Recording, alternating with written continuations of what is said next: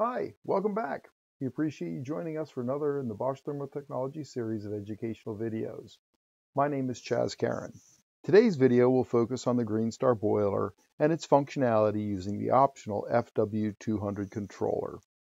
The FW200 controller is an outdoor reset control.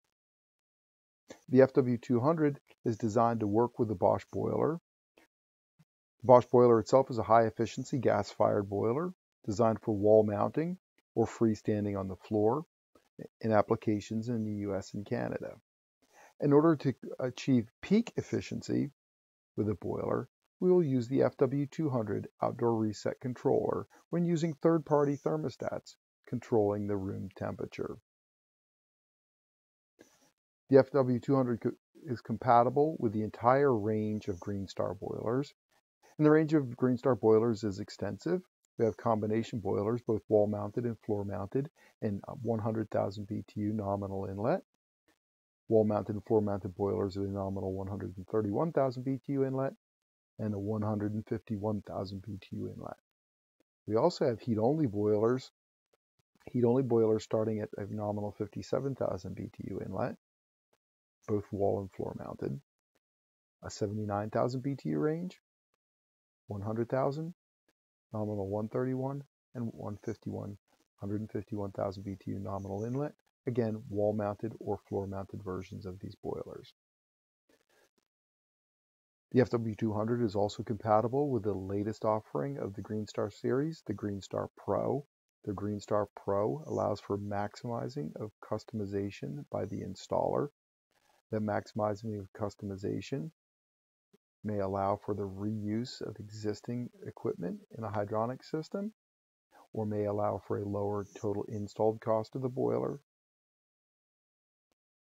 Either way, for whichever reason the Pro might be chosen, the FW200 will always be an option to optimize the efficiency of that unit.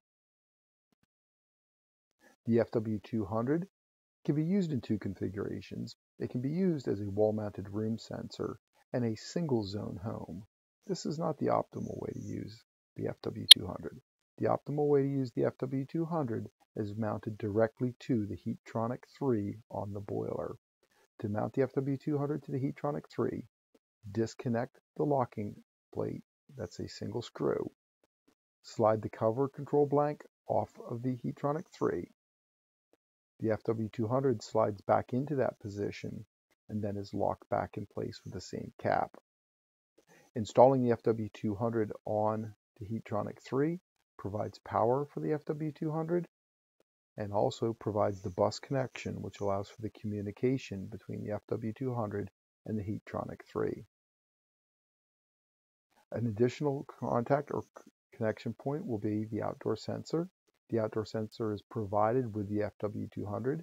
This NTC thermistor monitors outdoor temperatures, provides that information to the boiler so that the boiler can modulate proportional and according to the outdoor temperatures. Given that the outdoor reset controller wants to be on a north-facing wall away from any influence to the temperature that it would sense, an influence like an exhaust or anything like that. The idea of using outdoor reset is to take away that simple on-off control that we typically and classically see with a high mass boiler. The high mass boiler supplies a single temperature regardless of the outdoor temperature or regardless of the demand inside the home. It is nothing more than an on-off controller to the boiler.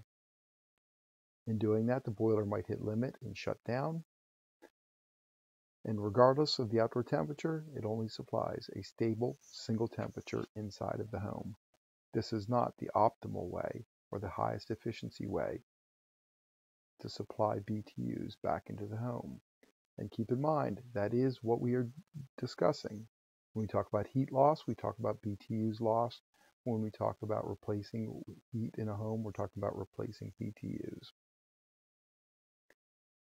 Outdoor reset takes into account the temperature outside and now gives another point of modulation for the boiler. Not only can it modulate its BTU input, but it can actually modulate its supply temperature out into the system. This simple outdoor reset curve, the graph on the left-hand side, you'll notice the horizontal axis is the outdoor temperature. The vertical axis is the temperature supplied to the heat emitters within the home. So you notice at relatively cool temperatures, cool enough for a call for heat, but not extremely cold, the supply temperature is significantly lower than what many people think of as necessary for hydronic heating. Keeping in mind that very high temperature is called design temperature, and that's required on the coldest days of the year.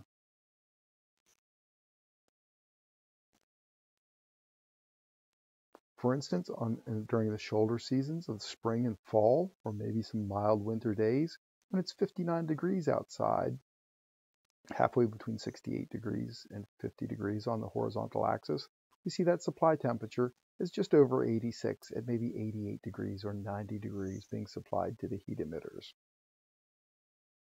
The idea of outdoor reset is really a single thing. And the idea of outdoor reset is ensuring that the return to the temperature to the boiler stays below 130 degrees. 130 degrees is a target number because that's typically discussed as the dew point for the flue gases.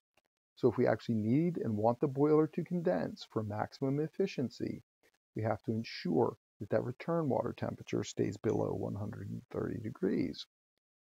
So in your typical system, which is designed to produce a 20 degree delta T, 20 degrees differential from the supply temperature to the return temperature, we want to ensure that our supply temperature stays below 150 degrees. So using this outdoor reset curve and that 150 degree, the green horizontal line now, as our target maximum supply temperature, we'll see that the boiler will condense using this outdoor reset curve down to about 19 degrees Fahrenheit. The blue vertical line, anytime the temperature is above that, the boiler will condense. When it gets much colder than that, the boiler will remain as a high efficiency boiler, but it will not be a condensing boiler. One of the problems commonly associated with a curve like this, which is a very efficient and very aggressive curve, is the idea that, again, in that shoulder season, let's again pick that halfway point between 50 and 68 at 59 degrees. Many people will perceive that their heat emitters are not hot enough to actually make them comfortable, when in fact BTUs are being replaced into the home, and perhaps even their thermostat is actually satisfied. So in order to help these people feel more comfortable, what we'll talk about is adjusting the baseline temperature. The baseline temperature we can talk about now bringing up, maybe bringing that baseline temperature up to closer to 102 degrees. With a baseline of 102 degrees and a design temperature up at 176, we now see that the boiler will still condense out to a temperature of about 23 degrees Fahrenheit or down to 23 degrees Fahrenheit. And think about that. In your market, how much of the actual heating season do you spend colder than 23 degrees Fahrenheit? This allows your customers to enjoy the maximum efficiency of their heating appliance for the vast majority of the heating season. And then for people who want more comfort, we can even do a more aggressive line. We talk about supplying maybe 122 degrees. And then we can see we lose our condensing where now we can only condense down to about 37 degrees Fahrenheit. Any of these are far more efficient than just simply supplying 176 degrees during the entire heating season.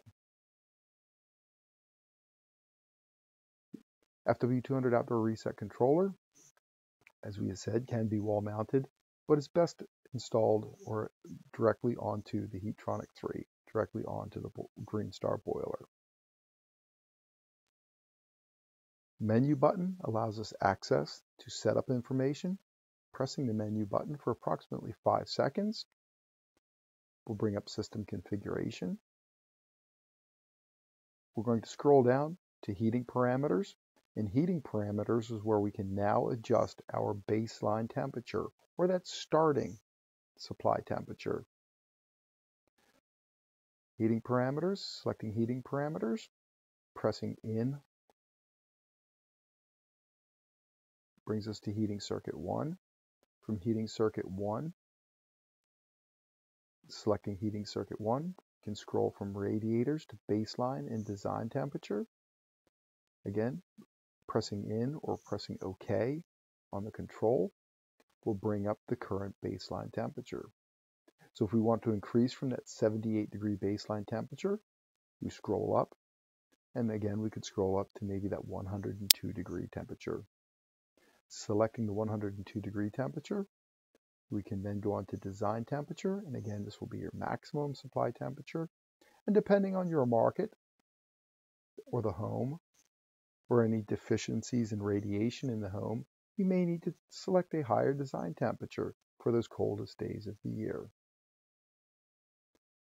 Adjusting that will make your customers maximize both their efficiency and their comfort. Thank you for listening in on the Greenstar FW200 Outdoor Reset Controller. If you'd like further technical support, please give us a call at 800 283 3787. Also keep in mind, in your install manual, under the commissioning chapter, there is a quick startup guide for the FW200 which will review all of the points and some others that we have not discussed today. Again, I'm Chaz Karen for Bosch Thermo Technologies Training Department. Thank you for listening in.